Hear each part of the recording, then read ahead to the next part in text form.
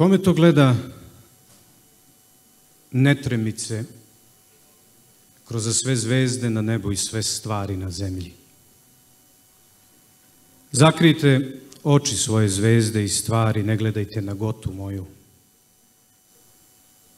Dovoljno me stid peče kroz moje oči. Šta imate da vidite? Drvo života koje se smanjilo u trn na drumu te ubada i sebe i druge. Šta drugo nego plamen nebesni zaronjen u blato, te niti svetli, niti se gasi. Orači nije glavno vaše oranje, no gospod što posmatra. Pevači, nije glavno vaša pesma, no gospod što sluša. Spavači, nije glavno vaše spavanje, no gospod što bdi.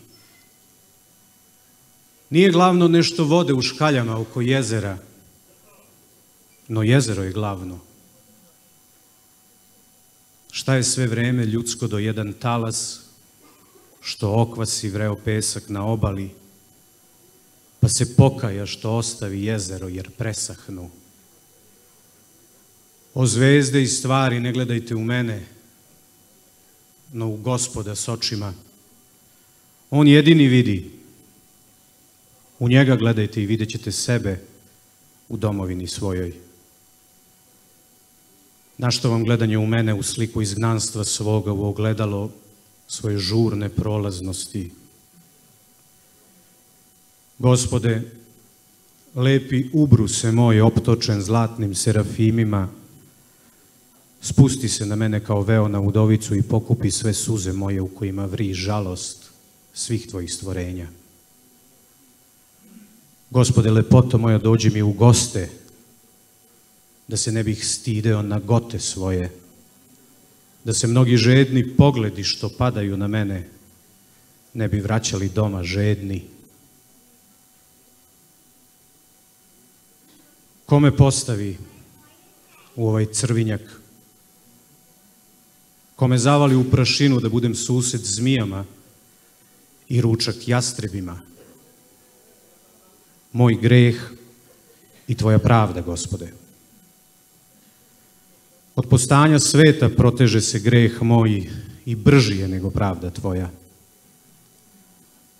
Brojim grehe svoje kroz ceo život svoj i kroz život oca mojega, tja do početka sveta i kažem, zaista pravdi gospodnjoj ime je milost. Rane svojih otaca nosim na sebi, rane koje i sam pripremah dok u njima bejah,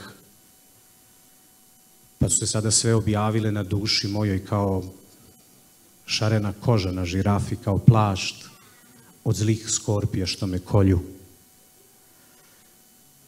Aman, gospode, otvori brane nebesnoj reci Tvoje blagodati i očisti me od gube, da bih bez gube mogao izgovoriti ime Tvoje pred ostalim gubavcima, da mi se ovi ne narugaju.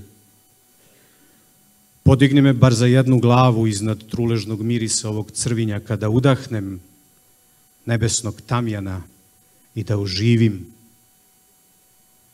Podigni me bar za jednu palmu visoko, da se ja mogu nasmejati zmijama što jure za mojim petama. Gospode, ako ima i jedno dobro delo na zemaljskom putu mome. Radi njega jednog očisti me od saputništva krvnika i bezbožnika. Gospode, nado moja u očajanju, Gospode, snago moja u nemoći, Gospode, videlo moje u tami. Metni samo jedan prst na čelo moje i podići ću se